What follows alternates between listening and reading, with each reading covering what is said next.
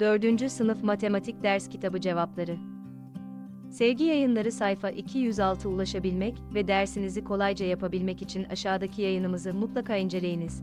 4. Sınıf Matematik Ders Kitabı sayfa 206 cevapları Sevgi yayınları satranç tahtasının kare biçiminde olduğunu biliyorsunuzdur. Yandaki satranç tahtasının çevresinin uzunluğunu, tahtadaki birim karelerin bir kenar uzunluğundan yararlanarak nasıl bulabileceğinizi açıklayınız. Yanda kareli kağıda çizilmiş karenin çevresinin uzunluğu, dikdörtgenin ise çevresinin uzunluğu ve bir kenarının uzunluğu verilmiştir. Karenin bir kenarının uzunluğunun kaç birim olduğunu hesaplayınız.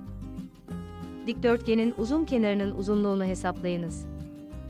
Yaptığınız hesaplamalardan yararlanarak karenin ve dikdörtgenin çevrelerinin uzunluklarını nasıl bulabileceğinizi açıklayınız. Aşağıdaki karenin çevresinin uzunluğu 24 birimdir.